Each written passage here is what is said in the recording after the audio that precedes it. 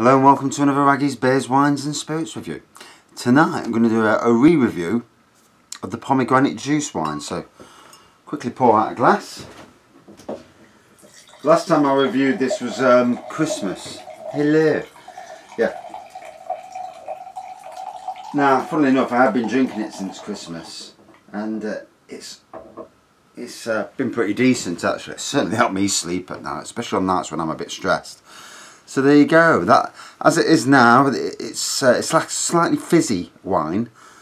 Uh, a couple of the wines have done this to me, the juice wines, both this and the blueberry wine and both turned out decent in the end. So definitely a smell of pomegranate. You definitely get that smell of alcohol. Uh, I would say this is around the 10% mark. Um, so six kilos of uh, sugar, six litres of pomegranate juice, and uh, then from Wilko's their yeast and nutrient. Uh, that cost me £2.50 but I only used enough I split it over the three.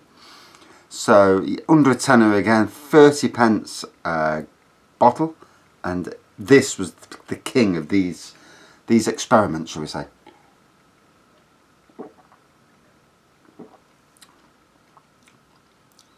And it's made a nice, it's made a nice rosé wine.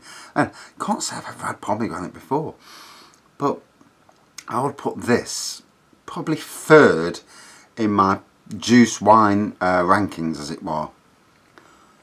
Behind number two, orange juice wine. That was immense.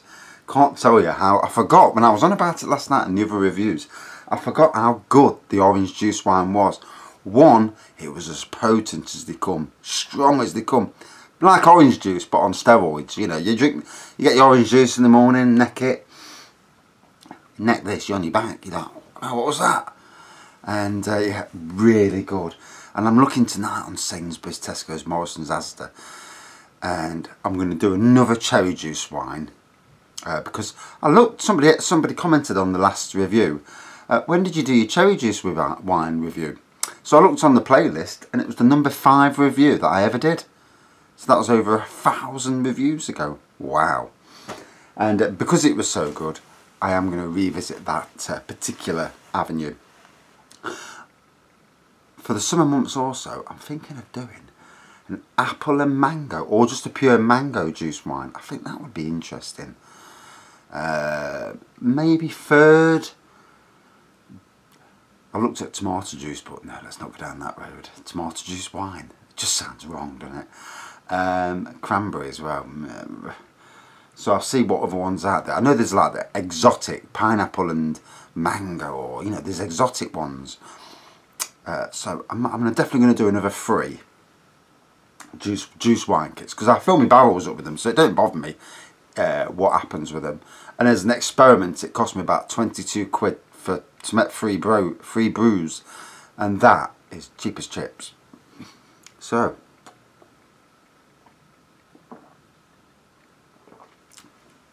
Just been to watch Sonic the movie, got dragged along, and uh, without giving any spoilers away, it's a good kiddies movie.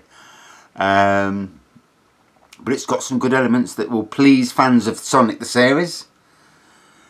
And uh, overall, I think a good, a good family movie, yeah. And a lot better than what I was expecting. I wasn't expecting it to be that good. So, yeah, decent. As for this, yeah, this is really good. Uh, I don't know how to make it any better. I know that I brewed it in the ferment fermentation bucket, went for weeks in there, then I transferred it to the barrel. Uh, I didn't add any sugar to it, so it's it's like fizzing up on its own sugars. But it's produced a slightly sparkling, like a frizzante type um, rosé wine. And uh, as you can see, it's crystal clear. Not like the other two. Crystal clear, decent wine.